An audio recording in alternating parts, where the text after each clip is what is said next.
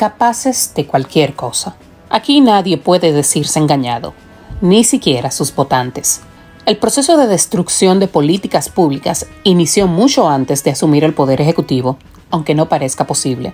Basta con recordar los ataques despiadados, sin propuestas concretas y, cuando existían, señalando el peligro que significaban una vez asumieran el poder, a cada proyecto puesto en marcha y que, pasado el tiempo, hemos reconfirmado que tenían un gran valor. Así, una vez oficializada su victoria, la población dominicana empezó a perder derechos y conquistas que entendíamos iban a permanecer y, en el sentido lógico de los casos, mejorarían en el tiempo. Cuán equivocados estábamos. Las cosas que creíamos superadas han regresado para recordarnos la importancia de las visiones de los grupos y partidos que elegimos. Una larga introducción para llegar a lo siguiente. Hay quienes crean protocolos rigurosos y estructuras profesionales para el personal de las estancias infantiles. Hay quien llega para sustituir ese personal por amigos y compañeros del partido sin preparación alguna y los resultados son trágicamente conocidos.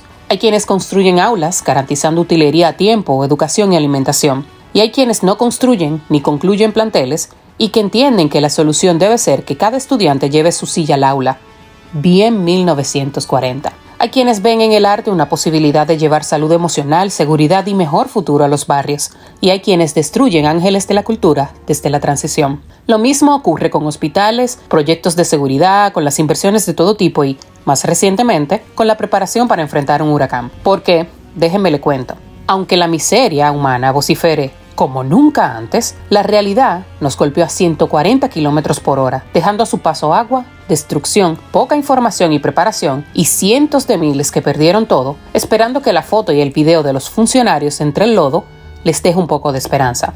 Y esos los que destruyen a diestra y siniestra, los que no garantizan derechos adquiridos, los que patean la institucionalidad y la dignidad de la gente, ya lo ha visto usted, son capaces de cualquier cosa.